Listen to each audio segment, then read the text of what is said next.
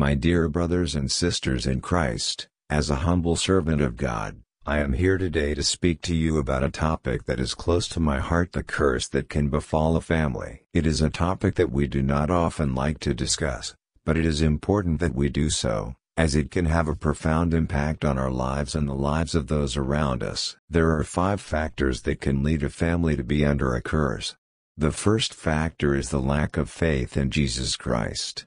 When we do not have faith in Jesus, we open ourselves up to the influence of the devil. The devil is always looking for ways to attack us, and when we do not have faith in Jesus, we leave ourselves vulnerable to his attacks. The second factor is the lack of prayer in the family.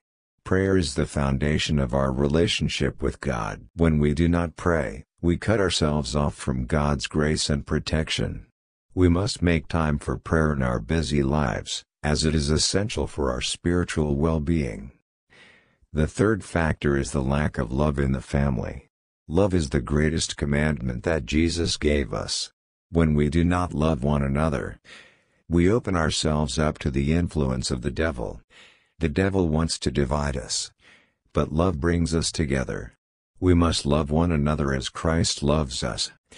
The fourth factor is the lack of forgiveness in the family.